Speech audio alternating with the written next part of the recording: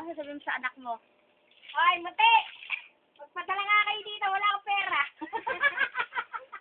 yung anak mo, lagi nasa doktor, ang lekat.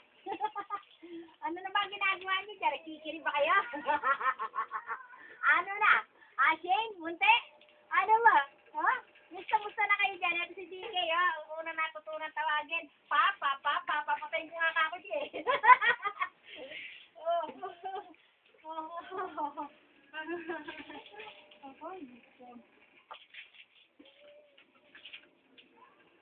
Taghirap dito, taghirap rin sa inyo. Ano na mangyayari yan? Pura kawawa na tayong tao. Kaya sa salamin ko, ayan, putol, pinutol na na anak mo, muti.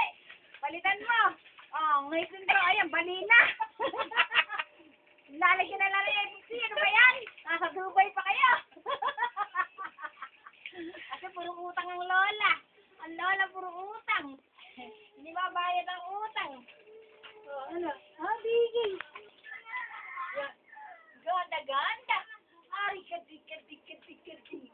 Ay, kati, kati, kati. Ang ganda, ganda. Ang sexy, sexy. Ang ganda, ganda. Ang sexy, sexy. Ang sexy, sexy. Ang sexy, sexy. Ang sexy, sexy, sexy.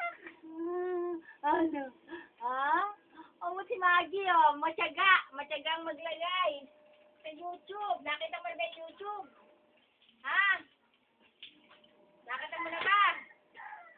Oh, ito anak mo raw. Iuwi nito si Jenny. Iuwi raw sa probinsya. Pakain ko kaya ano? Ang gaganda-ganda naman. Huwag mo magsalita ka.